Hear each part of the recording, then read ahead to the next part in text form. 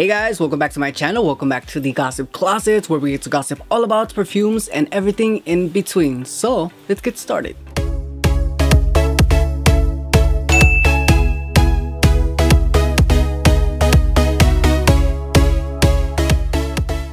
Alright you guys, in today's video, today's video, I am super, super excited for today's video because I have a new perfume right here.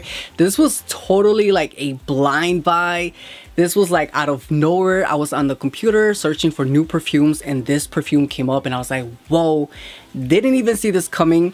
So I have here the Oscar de la Renta Bella Bouquet and let me just tell you, I do like the Bella line. I do like their collection. I do have three of them. There is four.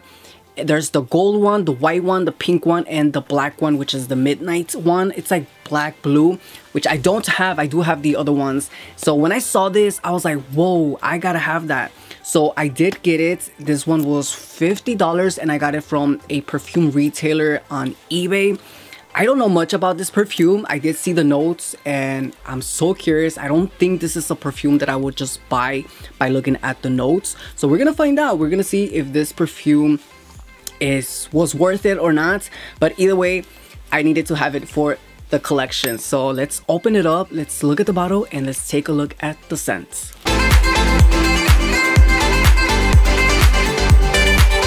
All right, so we have the bottle right here and I gotta say, you guys, this bottle is so freaking beautiful. I am obsessed with the bottle. I'm obsessed with the color. It's definitely a turquoise blue. It's just a beautiful, beautiful, elegant bottle and I absolutely love it. I actually like all of these bottles, the little floral design that these bottles have and I'm obsessed with it. So yeah, let's get to the scents. But before we do, I am gonna read the notes. All right, so this one has top notes of bamboo, clementine, peach, and green tea. The middle notes are magnolia, jasmine, sambac, rose, and iris. And the base notes are musk, cedar, tonka bean, and sandalwood. So very floral. I'm guessing very woodsy I don't know you guys about the notes. Nothing about those notes intrigue me except for like the clementine, the iris, and the musk. I do like perfumes that have those notes. So, moment of truth. Let's see what this smells like. I'm super excited for that. Okay, I like the way that it sprays. It sprays really, really nice. All right. Wow. Wow. I just got the first hint. Here we go. Oh my god. you guys, I like this. I like this and I'm liking it a lot. Whoa, I was not expecting that. All right, so this is described as a woody yet floral scent. And I'm thinking, when I think about woody perfumes, I'm thinking like, uh, like literally wood, tobacco, leather, stuff like that. But wow. Okay, so the very first thing that I'm getting out of this perfume is green tea. It smells really, really nice, but it smells minty. It smells like when you're chewing gum, like that minty gum, and it's so refreshing and it's so minty, but yet a bit sweet.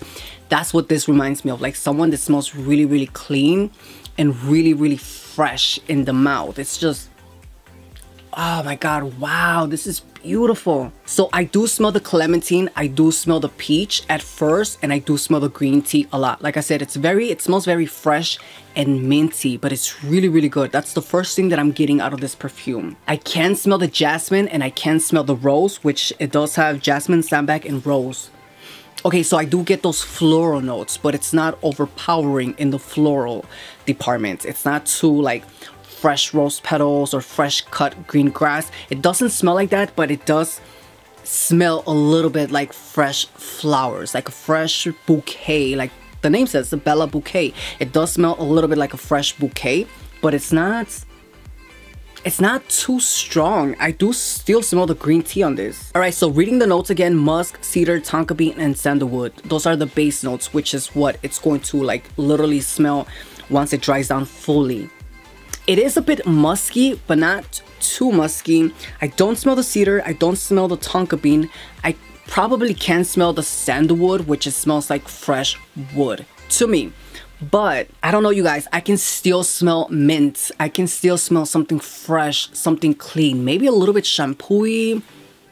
Oh, it also reminds me of something aquatic, something that it would smell like the ocean, like a clear water. That's what I'll, also I'm getting. It's very floral, but yet sweet at the same time. Yeah, you guys, I don't know. It's just a really beautiful clean scent. I thought that this was going to be like a fall type of scent.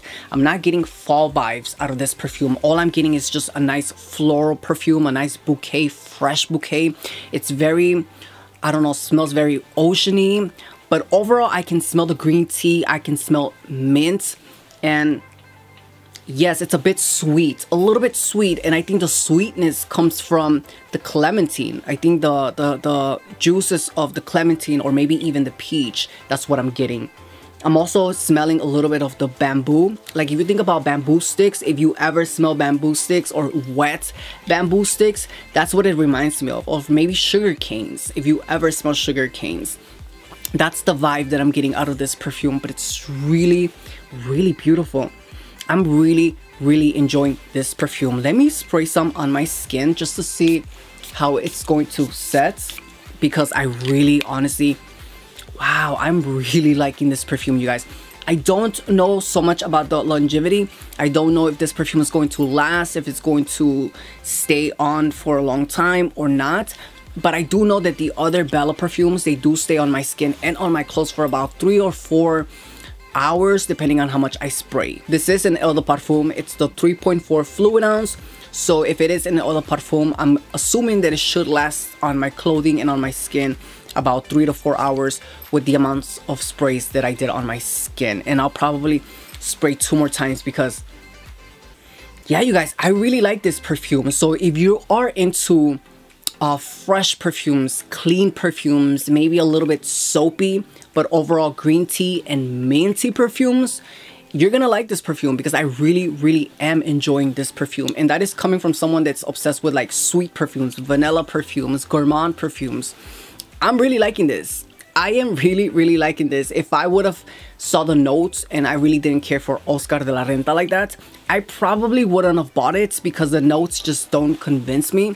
But because I do like Oscar de la Renta and I do like the Bella line, I wanted to give this a try and I'm so glad that I did because this is just, wow, it's just beautiful. It's a beautiful, minty, a bit sweet, clean, oceany type of perfume and I absolutely love it and I highly recommend it if you're into those type of scents. So again, this is Oscar de la Renta and this is Bella Bouquet and I'm so far really, really liking this perfume. But alright you guys, that is pretty much it for today's video. That is pretty much it for today's review. If you guys like this video and you guys are enjoying my content, please give this video a huge thumbs up. That lets me know that you guys are enjoying my content. If you're new to my channel, hi, my name is Edgar O and I am obsessed with everything in the fashion world, especially perfumes. So if you are a perfume maniac like myself, stick around, click that subscribe button to be part of the team. But alright you guys, as always, thank you for watching and I can't wait till we gossip on our next one. Until then, I'll see you next time. Bye!